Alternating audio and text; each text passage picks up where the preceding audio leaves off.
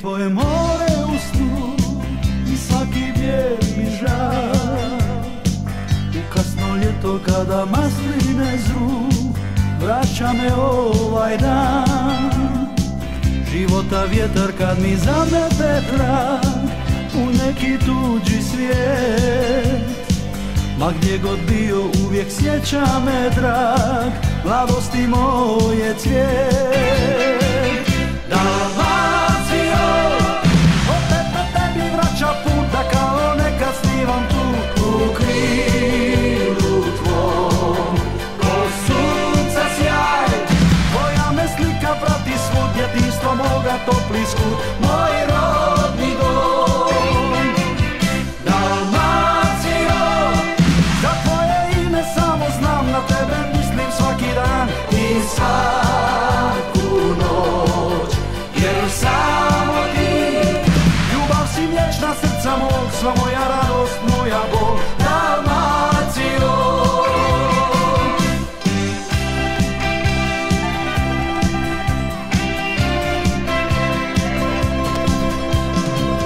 Još čujem šapat tvojih palmi kroz noć Sve tvoje pjesme znam.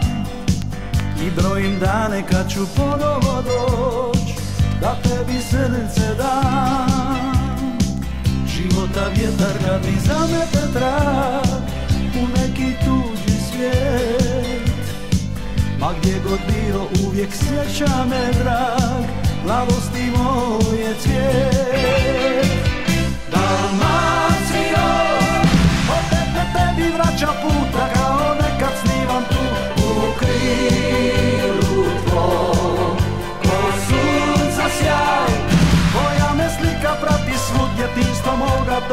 kud moj rodni dom.